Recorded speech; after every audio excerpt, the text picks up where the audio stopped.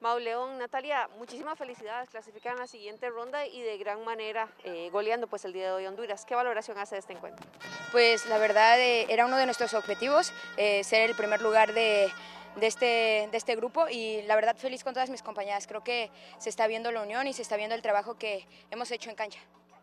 Eh, pasan a la siguiente ronda y ahora enfrentar a una de las selecciones que, que, viene a este torneo, como lo es Curazao. ¿Qué conocen de Curazao y cómo valorar este equipo?